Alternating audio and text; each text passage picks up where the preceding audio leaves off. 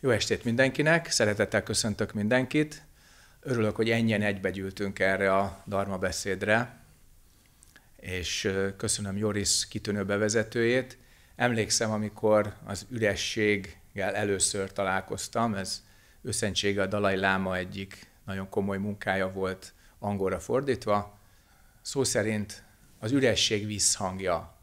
Hogyan lehet az ürességnek visszhangja? Kérdeztem magamban, de amikor elolvastam a mintegy 140 oldalnyi munkát, és hatalmas katalógust találtam az üresség miben létéről, akkor, mivel nem értettem, azokra néztem, akik ezt a tan gyakorolják. Tehát milyen embert teremt az, hogy te mondjuk az ürességgel foglalkozol, kiüríted a saját karmádat, és mondjuk a világot beengeded, önvédelmi mechanizmusaidat egy picikét engedett kioldódni.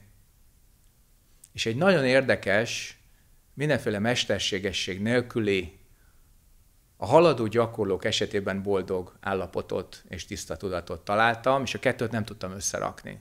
Tehát hogy, hogy az üresség és a teljesség az így párosodik.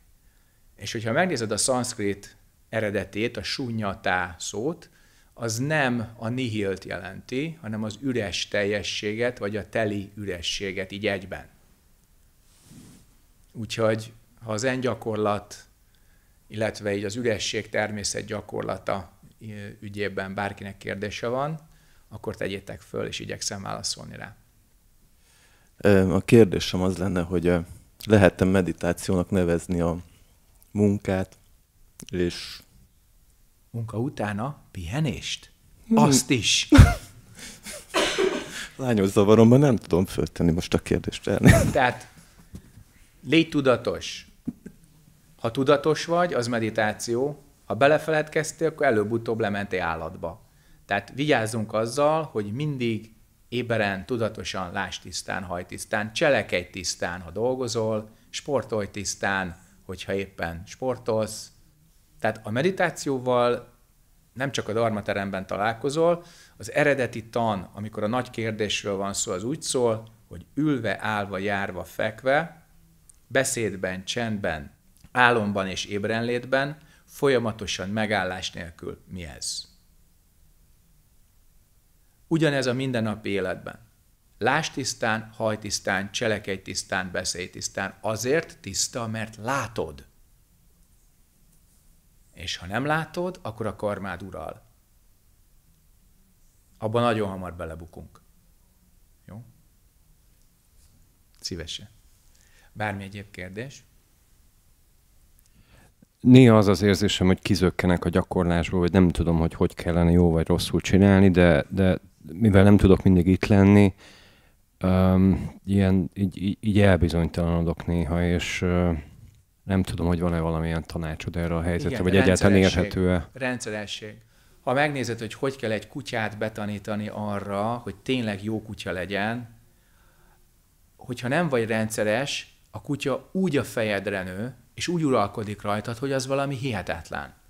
Tehát amikor mi a belső zen tanítványt képezzük, akkor a rendszeresség, kötelességtudás, de együttérzés és flexibilitás egyszerre kell. Elmondod magadnak, hogy az összes világi teendődet úgy intézed, hogy hetente két napot, hétfőt és szerdát itt töltesz x órától x óráig. Kész.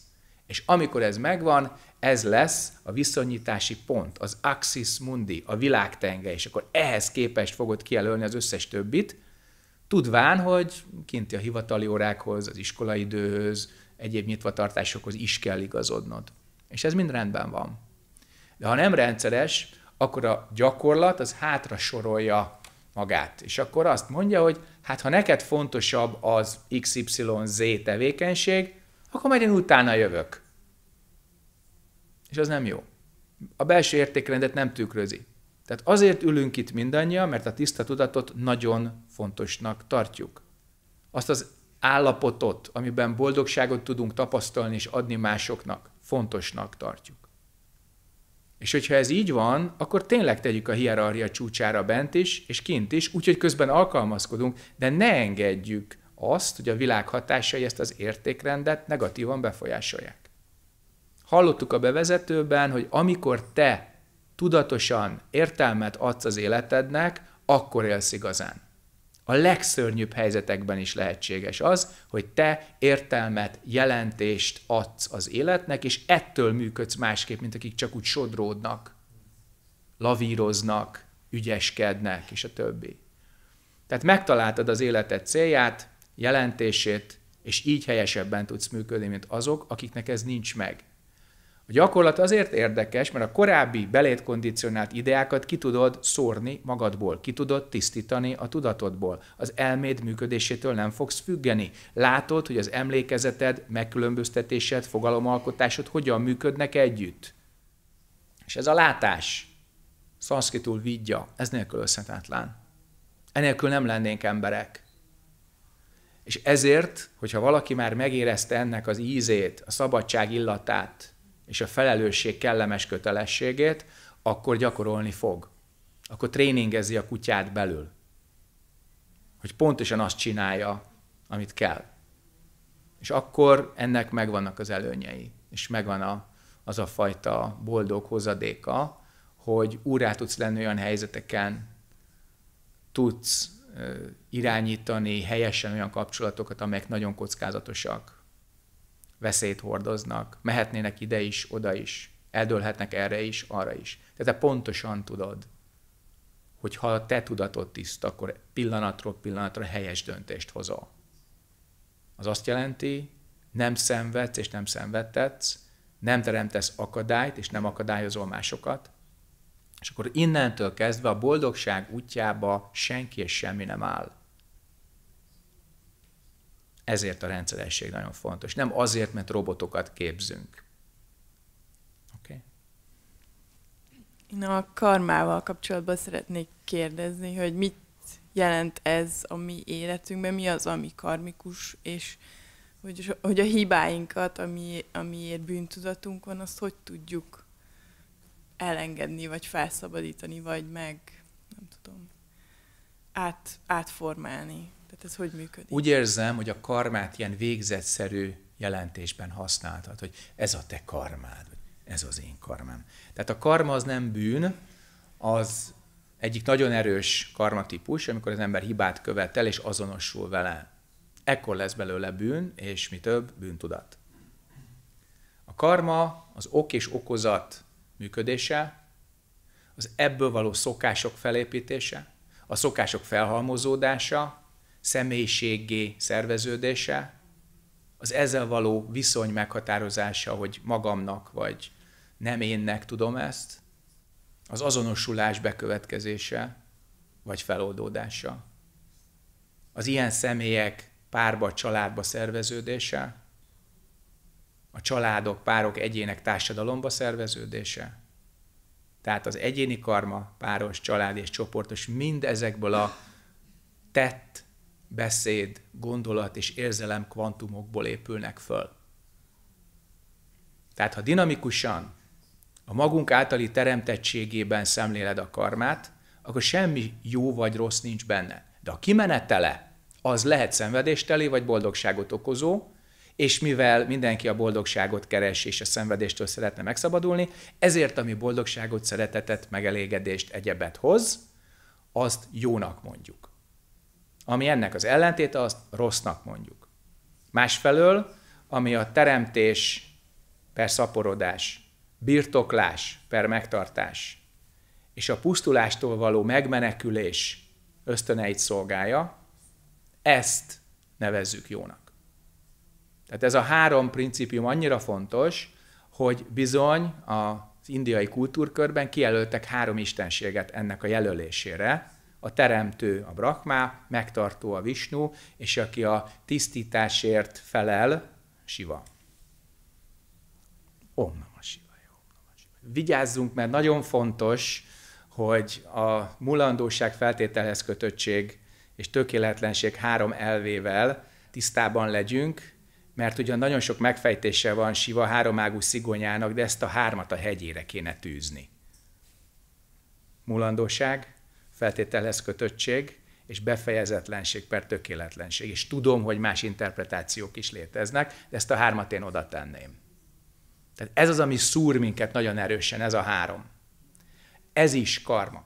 Ezt a karmát az azonosulásunk mértékében hordozzuk magunkkal. Megkötjük, akár pozitív, szeretem, akarom, én vagyok, akár negatív azonosulás útján, nem én vagyok, félek tőle, gyűlölöm, nem akarom. Ez is kötés. Nagy részét a tudattalanunkban hurcoljuk életeinken keresztül, és bizonyos mértékig ebben az életben tudatosodik belőle valamennyi. Az, amely elkerülhetetlenül tudatosodik, ezt például a Védántában prarabda karmának hívjuk, hogy bármit csinálsz, az kijön. Például születési problémák, korai betegségek, balesetek, egyéb, és miért történik ez vele? Holott a szomszéddal ez nem történik. Tehát azért, mert ezt a karmát hoztad magaddal korábbi inkarnációidból, és ahogy fejlődsz, és ahogy a, az impulzusok jönnek a világból, úgy ezek manifestálódnak, és te nem tudsz mit csinálni, mert még nem vagy elég tudatos, a környezeted sem, és ez szépen megy végig. És a rossz hír az, hogy ez néha akkor is bekövetkezik, amikor már tudod, de még nem állítottad meg. Már tudod, hogy hogy működik, már ismered a darma egy részét, de a szükségszerűen megérő gyümölcsöt hozó szó szerint ez a jelentése, ezt a karmát nem tudod megállítani, mert olyan érési fázisban van, hogy meg fog jelenni. Kész. És akkor szembe kell vele nézni. Úgyhogy a karmát azt mi teremtjük, de nem csak most, mindig. Az összes inkarnációkon keresztül. Azért fontos a testhez kötött lét, mert a testet, hogyha egy szerszámos ládának fogod föl, akkor ezt az összes karmát, amit látással, hallással, szaglással, tapintással, ízleléssel, gondolkodással, érzelmekkel, beszéddel, cselekedettel követsz el, teremted meg, kötöd meg, azt csak ezzel a szerszámos ládával tudod módosítani. Még többet belőle, megtartani belőle, vagy pedig eltörölni, kitisztítani belőle. Tehát a karma egy nagyon dinamikus, nagyon érdekes fogalom, elképesztően távol van a végzetszerűségtől, az egy nyugati, a teremtettségre utaló nézet, hogy mi magunkat csak teremtettként tudjuk fölfogni, és nem találjuk a teremtő szikráját vagy lehetőségét magunkban. És amikor a teremtő principiumot nem ismerjük belőle, akkor a buddha természetről való összes tudásunk az elvész összes érzésünk, hogy igen, urai lehetünk az életünknek és a halálunknak, ez elvész. Tehát a karma az nem jó vagy rossz, de a viszonyod hozzá lehet helyes vagy helytelen, látásra, vagy éppen tudatlanságra, nem látásra alapozva. Itt, amikor gyakorlunk, akkor a karmát látjuk, a kezdetét és a végét, és azt, ami a kettő között van, azt is. Látod azt, hogy magadban keletkeznek bizonyos impulzusok, és ezt kivetíted a környezetedre, a másik emberre, a csoportra, a lovakra, a fákra, és ezért nem beszélünk, vagy beszélgetünk a gyakorlat ideje alatt. Ezek a projekciók megmaradjanak belőle, és átlásd őket, mielőtt a szokásaidat követve kivetítenéd a másikra, és az, az úgy van, hogy én mondom, mert nekem igazam van. Igen? Nézzék körül még egyszer. Belül is. Kívül is. És utána döntsd el, hogy amit éppen kimondtál volna, az igaz vagy sem. Sértett volna, vagy simogatott volna. Szeretett volna, vagy gyűlölt volna, ha kimondtad volna. Úgyhogy a karma nagyon-nagyon érdekes és elképesztő nagy stúdium, mert ez az a tudomány, amivel a kelet megáldotta a nyugatot, a nem absztrakt, de transzcendens nézettel. És ezt nem lehet eléggé hangsúlyozni, hogy nem abstrakciókban gondolkodunk, és nem légvárakat építünk, és nem rendszereket gyártunk le, hanem egy leválasztott, nem azonosuló, de világos, tükörszerű tudattal látjuk a karmát. És ebből a látásból van a cselekvő képesség. Nem másból. Jó? Én a kutyákról szeretnék még beszélgetni. Um, vagyis velem az történt, hogy én olyan jó beszélgetéseket hallgattam itt végig a elmúlt pár napban. Na hát. tudom, tegnap előtt érkeztünk. Az, hogy leheted? De hát én is ezt kérdezem, mert mindenki csendben ült, és a falat nézted. De valahogy beszélgetéseket és, tehát, hallgattál végig. És nyilván hát Ezek Igen. benned történtek? Igen, és hogy ezek meddig zajlanak, vagy ezek a kutyák ilyenkor ugatnak, vagy én mit csináljak velük, hogy szelidítsem meg, ez normális, hogy végig forognak ezek, és van mondjuk három másodperc, amikor így, de jó, egy kicsit csendet sikerült csinálnom. Jó hírem van, normális, mert egyenesen Jó. fényes szemmel nézel rá, és mind a két szempár így párhuzamosan előre, tehát semmi gond. Tehát Köszönöm. az elme az pingpongozik, néha nagyon sok ütője van, csak az asztalt nem szabad összetörni. Meg Tehát, hogy hogy minden beszél. labda ugyanarra az asztalra essen, és akkor nincs gond. Az a fontos, hogy ez a úgynevezett tudati fecsegés, amikor belül ilyen hangok, beszélgetések vannak, ez valahol az elme kitisztulását szolgálja, hiszen úgy megbeszéled magaddal azt, amit eddig nem tudtál. Viszont ennek különösebben nagy energiát nem kell adni, mert ennek nincs vége. Semmilyen vége nincs. Ha csak te el nem zárod a csapot. A mantrát és a kérdést azért használjuk, hogy ezt a csapot megtaláld. Tehát a tudat fecsegése tényleg olyan, mint amikor a fürdőszobában jön a csapból a víz, megtelik a kád, szépen kifolyik, kijön az ajtó alatt, elönti a lakást, és kopog a szomszéd. Lehet hívni Sanyit a vízszerelőt. Tehát amikor arról van szó, hogy a tudat tevékenységet valahogy szabályozni kell, az elmét, meg kell találni azt a csapot, amivel ezt el lehet zárni. Elfolytani nem lehet, próbálj meg egy nyitott vízcsapot így tenyérrel. Uh-uh, nem megy. Még jobban kiengedni, hogy minél hamarabb jöjjön Sanyi a vízszerelő, az sem érdemes. Meg kell találni az elzáró mozdulatot. Magyarul nem elfolytom és nem élem ki. A látásból következik az, hogy egyszer csak vissza tudod vonni azt az energiát a karmádból, amivel táplálod. És ez a visszavonulás, ez a visszavonás az, ami a karmát gyakorlatilag meg tudja nyomtalanul szüntetni. Ha megnézed egy karmának, bármilyen karmának az összetételét, az energiából és információból áll. Az információt addig masszírozzuk, amíg nem azonosulunk vele, mert az információs részben van egy nagyon fontos dolog, hogy azonosulok vele, vagy sem. Én vagyok, vagy nem. Jó, vagy rossz. Amíg a jó és rossz polaritása benne van, addig pozitív vagy negatív azonosulás fönt fog állni. Tehát ezért a zenben hangsúlyozzuk a jelenségek ilyenségét, hogy az nem jó, nem rossz, az pont ilyen, így működik. Tehát te csinálsz belőle jót vagy rosszat. Tehát ez az információs rész. Ha ez ki van egyenlítve, és a polaritás kivéve belőle, akkor az azonosulás megszűnik. Ha az azonosulás megszűnik, akkor az energiát ki tudod belőle venni. Egyébként nem. Egyébként még több energiát kíván tőled. Beszédben, érzelemben, gondolatban, cselekedetben, és akkor hallod azt emberektől, hogy nem tehettem mást. Én ezt csak így gondolom. És nekem mindig igazam van. És a többi.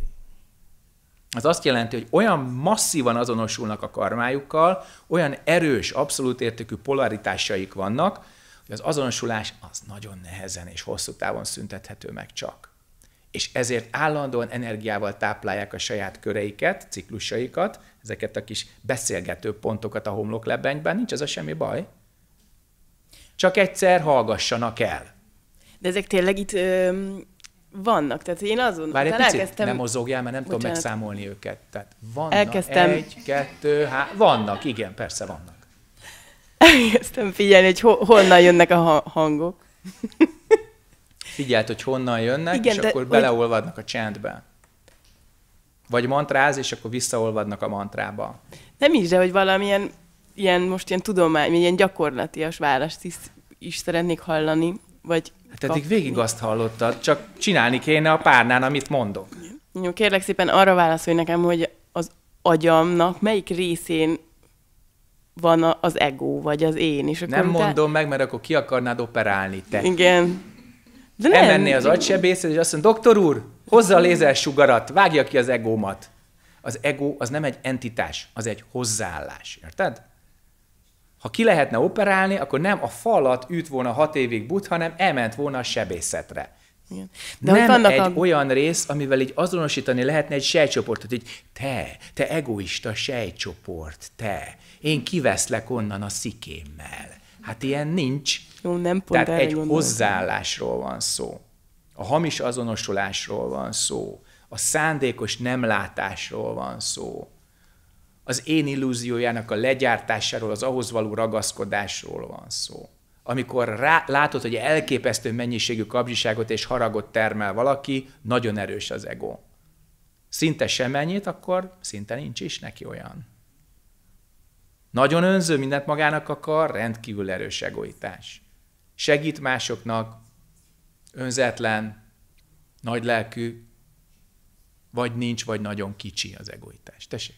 Bocsánat, nem is az egóra gondolok, hanem a gondolatokra. De én igen, Azokat én, itt van. én ja, arra, én most te abba vagy. Tudod vagy... miért? Mert cogito ergo sum. Tehát mhm. gondolkodom, tehát vagyok. Tehát a gondolkodás folyamat, amikor összeáll 24 képkocka per másodperci, magyarul a narratíva folyamatos, akkor az énnek az illúziója is folyamatos. Tehát a zenben azért használjuk ezt, mert legalább egy pillanatra megszakítja a narratívát. Egy pillanatra van egy pozitív filmszakadás, és mögötte az a fény, amitől ez rávetülhet a világra, eredeti mi voltában megmutatkozik. Tehát igazából nem az a kérdés, hogy ki vagy, hanem hogy ki vagy te két gondolat között. Oké? Okay? Mert ameddig csak azonosulsz a gondolkodásra, addig mind-mind rossz választ kapsz. Tessék. Még egy utolsó, hogy Mert utolsó. Na mondjad. a gondolatok valahol itt vannak, de az érzéseimet mégis itt élem meg a fejemben. Tehát, ez hogy ez meg, szomorú. Te mi lesz a szívcsakráddal? Az munkanélkül marad? Vagy hát hogy? vagy itt, vagy akkor itt elgondolkozom, hogy mit érzem. Ott Tehát, hogy ezen nagyon... arról, hogy mit ez érzel. aztán- Hát ez, ez nagyon keserves te. Hát nem Elkezdünk így gondolkodni van. az érzéseinkről, akkor mindig valami baj van. Vagy túlpörgetjük őket, vagy kihűtjük őket, vagy felszeleteljük őket, vagy összekeverjük őket. Tartsuk meg az érzéseket érzéseknek, és lássuk itt, ahogy a szívcsakrán kinyílik, mint egy piros lótusz. Úgy. Köszönöm. Szívesen. Mi a különbség a vágy illúziója és a szerelem között? Szerelem vagy szellem? Szerelem. Szerelem. Automat, szerelem? Tehát melyik szerelem? Vagy az a nagybetűs, amiben bele szoktunk pusztulni fiatalon? Az. Az. Tehát a vágy illúziója nem fektettél belé elég munkát. Illúzió maradt. Nem volt elég hited, nem mentetek el egész addig, hogy tényleg tartós legyen. Ha pedig tartós és olyan hőfokon ég, hogy elvisz a világ körül és még vissza is, szerelem. A téves nézetekre alapozott érzelmek mindig illúziók. Hogyha nagy szerelem az a realitás talaján is van, és Ámor végre kinyitja a szemét, és nem csak vakon nyilazgat jobbra-balra, akkor működik. Tehát egy emberi kapcsolat, ami iszonyú intim, az most már szerintem itt a teremben mindenki tud erről, hogy az nem csak a nagybetűsről szól, hu hanem arról, hogy megismerem magamat a másik tükrében, és a másiknak is ezt a tükröt tartom elkerülhetetlenül napi 24 órán át. És hogyha ez nem égeti ki belőlem a téves nézeteket, akkor majd a gyerek fogja. Tehát, ha téves nézetekre, helytelen alapra építem az érzelmi életemet, akkor vágy illúzió lesz belőle. Hogyha helyes talajra, helyes darmára építem ezt a karmát, akkor az bizony lehet erős szikla. Legyen is. És akkor működik. Akkor gazdagszunk, akkor gyarapszunk, akkor nincs dühünk vagy kapzsiságunk, mert nincs téves nézet mögötte. És akkor nem dühösek vagyunk egymásra, hogyha valami nem működik, hanem megpróbáljuk segíteni egymást, anélkül, hogy túlsimogatnánk a másikat. Mert egyengíteni egy másikat szerelem közben az nem jó. Egyengíts le, szeresd, az más. Oké? Okay? Beszélsz arról, hogy az éles látás mennyire fontos a dolgok tisztánlátásában, és hogy ne vetítsük ki rá a saját gondolatainkat. De hogy honnan tudhatom, hogy én élesen látok, vagy hogy ez nem egy kivetítés. Ha az ok és okozat törvényét helyesen látod, akkor a piros lámpára megállsz, és a zöldre elindulsz. Hogyha elkezdesz gondolkodni rajta, hogy a piros és a zöld váltakozása valójában egy diszkóparti kezdete, akkor lelépsz a sarok, és azon nyomban teherautó és szervusz. Magyarul, ha tisztán látsz, akkor az ok és okozat törvényét helyesen fogod föl, és követheted, ha nem, akkor az illúzióid mindig valami balesetbe, szenvedésbe, nélkülözésbe és egyébbe vezetnek. Tehát magyarán, ha egy szinkronicitás működik, vagy így összeállnak a dolgok, az, egy, az azt jelenti, hogy akkor... Igen, de milyen irányba megy? A második világháború is egy hatalmas szinkron élmény volt, csak nagyon sokan szenvedtek tőle. Hát szenvedés ne legyen benne akkor. Ki tudod belőle venni? Ha akarod. De a szinkron élménynek önálló minősége nincs. Uh-huh. Te adod a minőségét. És gyönyörű szinkron élménnyel lehet a pokolba menni, ha azt választjuk. Pont akkor nyílik ki a pokol ajta, amikor mi előtte vagyunk. Hurrá, megyünk is be. Szeretnél? Nem. Akkor az irányod az a pokoltól elfelé vezet. Az egyébként belül van, tehát nehogy a Bosch albumban keresd a poklot, az nem ott van, meg egyéb írásokban sem. Olyat nem tudtak leírni se proféták, se szentek, se senkik, amit te magadnak gyártasz belül a saját gyönyörű tudatodban. A lelkednek a terében. Azt a poklot, azt senki nem tudta leírni. Azt a filmet te rendezed.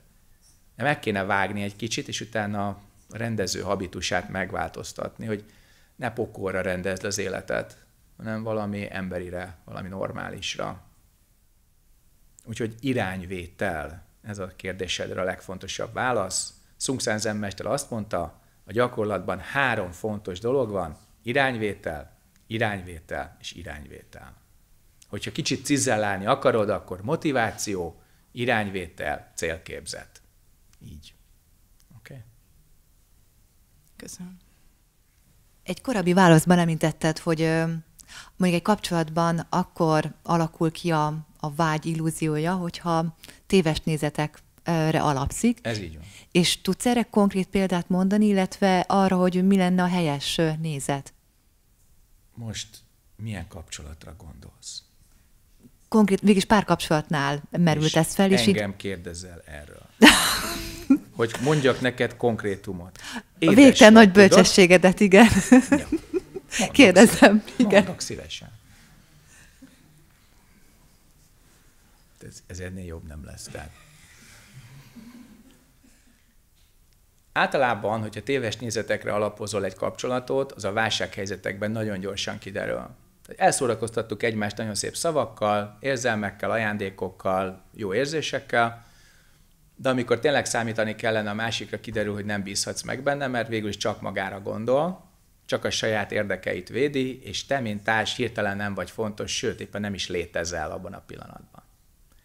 Tehát azt gondoltad, hogy a szerelem mindent legyőz, igen, de a másiknak az énségét nem győzte le. És lehet, hogy a tiédet se bizonyos helyzetekben. Tehát mennyire bízhatsz meg a társadban, mennyire számíthatsz rá, hogy tényleg te fontosabb vagy, mint ő maga, és te tudod-e őt fontosabbnak kezelni, mint saját magadat. Ez egy óriási dilemma. A másik, amikor ugye megjön a gyermek. És amint a gyermek megszületik, azon nyomban kiderül, hogy a házasság nem pusztán két ember boldogságáról szól. Tehát azon nyomban ott van egy ekkora kis pici kis pár kilós csöpség, és nagyon egyszerű nyelven beszél, de nem érted.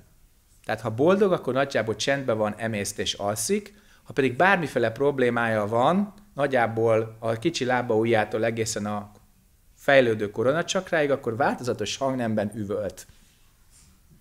Kettőt fölneveltél, úgyhogy tudod.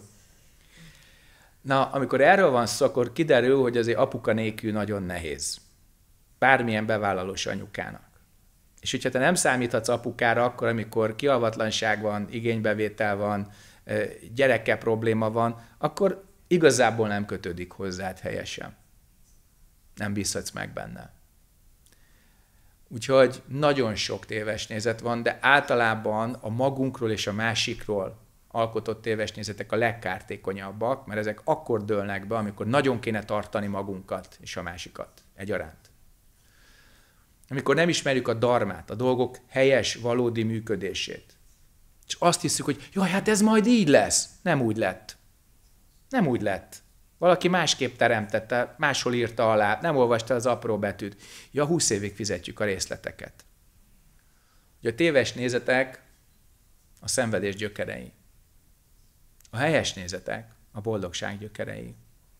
Vigyázzunk, hogy milyen magvat teszünk az egzisztenciánk földjébe. Mert kikelnek. Elkerülhetetlenül. Azt szeretném megkérdezni, hogy beszéltél itt a világos tudatról, és vannak ezek a Koan interjúk. Hát azok vannak. Hát vannak, azok és vannak. érdekes, hogy elindulok a interjú szoba fele, és akkor még úgy tudom, hogy mi, mi, mit csinálok. Járok, ajtót nyitok, örülök, hogy megyek, vagy nem örülök, hogy megyek, vagy tök mindegy. És benyitok, és onnantól kezdve se kép, se hang, aztán kijövök valahogy. De engem ott látsz belül. Persze, tehát persze, valaki az van a benne. kép az ott van. Tehát Val valaki van ott például. meg meghallod, amit mondok, de ugye az elme összes egyéb tevékenység az úgy nix. Az úgy nix. És, és az itt a számomra probléma, hogy oké, okay, hogy én ezt így megcsinálom, vagy csinálok ott valamit, de ezt, én ezt így nem, nem tudom, hogy ez most tudatos, vagy ezt most így, így ezt, ezt, ezt kéne nekem világosan fölfognom és értelmeznem, vagy, vagy mit kell csinálnom. Vagy mi, mi, nem is tudom, hogy mi is, na mindegy. Szóval valami ilyesmit kérdezek. Hogy... Majd felírok valami gyógyszert. Jó. Amikor gyakorolsz, akkor tényleg visszavonod az energiát a tudatos elmetevékenységtől, hiszen a praxis erre irányul. Amikor mantrát, kérdést vagy közvetlen percepciót gyakorolsz, akkor nem pörgeted itt a szövegszerkesztőt meg az Excel táblát. És azok a szokásos tudati keretek, amelyek között te és mindenki más mozog, azok a keretek föllazulnak. És bejössz az interjú szobába, ahol te készülsz arra, hogy az ismeretlennel találkozol, és felolvasol egy újabb sztorit, amire nem tudod a választ, és megpróbálod az intuíciódat megint berúgni, vagy bekurblizni, mint a régi mercedes a háború előtt. Tehát ezek a dolgok, ezek tényleg lerúgják az égszíjat, és a habituális gondolkodás az ott nincs. És az rendben van. Ne támaszkodj rá, mert úgyis haszontalan. Tehát az normális, hogy bejössz az interjúszobába, és úgy a látványon, a lombfűrészsel kivágott kontúr, a szobán, meg a könyvön kívül úgy semmi nem jut eszedbe. Normális, csak az a helyzet, hogy ez így jó, de még önmagában kevés. Tehát ahhoz, hogy ez működjön, az fel kell fogni a kont, semmiféle projekció, dualisztikus képzetet nem rávetíteni, és tiszta tükörből válaszolni. Az elméd már tudja azt, amit kell, mert a koanpraxishoz inkább felejteni kell, és nem újat tanulni. Ami szükséges, azt annyiszor elmondjuk, hogy az már rég benned van. Nagyon kevés kognitív elem szükséges a koanpraxishoz, amire szükséged van, azt elmondjuk többször is. És akkor az intuíciód jól tud működni. Az, hogy nem jut eszedbe semmi, hurrá, nincs akadály. Jó? Csak figyeld a pillanatot, figyeld a kérdést. És az, hogy a szokásaidban nem tudsz kapaszkodni, az rendben van. Ezt a részét értem, de akkor mikor tudom magamnak azt mondani, hogy na ez most frankon világos tudat volt? Semmikor. Ezt te nem mondjad magadnak, ez az én dolgom. Azért vagyok. Mert hogyha már mondod magadnak, akkor ez nem frankó és világos tudat. Most elszomorodtál. Látom. Lesz ez még szomorkásabb is, de abból is ki fogsz jönni. Jó? Oké. Okay. Remélem hasonlóan ö, ö, sikerül nem jól feltennem a kérdést. Önbizalomhiány van? Két, abszolút. Um, igazából az a kérdésem, hogy itt hol, miért nincsenek gyerekek? Tehát van egy ilyen sztereotíp a filmekben, hogy egy kis buddhista, ilyen három éves kis szerzetesnek tanulók már ott vannak, hogy itt, ha mondjuk én hoznék egy csoport gyereket, ők mit csinálnának így? Várat építenének szerintem a... Zentáborba hozzá nyugodtan. Igen, van ilyen? Persze. Tehát vannak olyan hétvégénk, ezek a zen hétvégék, vagy zen táborok, ahol családok, gyermekek, mindenki jöhet. De most képzelj el itt, ebben a rendszerben, csendben, 340-es keléssel, 9 óráig tartó esti gyakorlattal, ezt egy gyerek nem bírja, és nem is szabad egy gyereket ilyennek kitenni.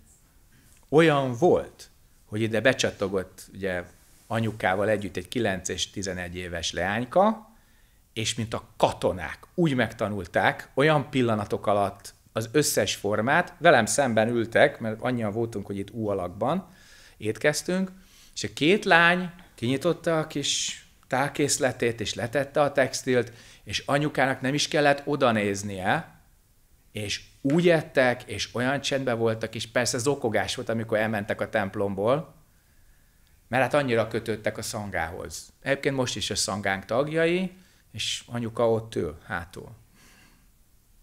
Tehát ők jöttek akkor erre a zen elvonulásra, és elképesztő gyönyörűen volt. De ez kivétel. Tehát ha a gyerek nem akarja, akkor csináljon valami mást, játszon, mászkáljon, legyen korához illő a tevékenysége, mert ez azért ez kemény, ez még a felnőtteknek is kemény. Visszagondolsz ilyen 6-8-10 éves korodra, te ütél volna akár 10 percet is így szótlanul? Értelmét nem láttam volna én se, még sokkal később se. Tehát ezt nem szabad a gyerekre erőszakolni, mert olyan elképesztő defenzívába megy át, hogy amikor tényleg a darmára szüksége lenne, már rég elutasítja. Mert hát tíz éves koromban is azt mondták, hogy üljek lótuszba. És nem láttam az okát, apu meg azt mondta, hogy nem állhatok föl. Tehát ezt nem szabad. Most is elmondom, korábban is elmondtam, rengetegszer el fogom mondani, a gyereknek játszani kell, fejlődnie kell, neveltetés, egyebek, iskola, társaság, szülők, tábor, rokonság, hegyek, völgyek, folyók, állatok, ember, minden, ami a tapasztaláshoz kell. A zen az akkor jöjjön, amikor megérett rá.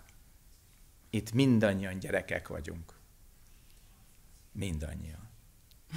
A kezdő szellem, az addigénység elvétele, a teljesen világos prekoncepciók nélküli hozzáállás, ez a fontos. Miért mondta azt legnagyobb bótiszhatvánk, hogy bizony mondom néktek, ha nem lesztek gyermekek, újra nem léphettek be a mennyek kapuján. Nem infantilizmusról beszélt, azt már mindannyian tudjuk.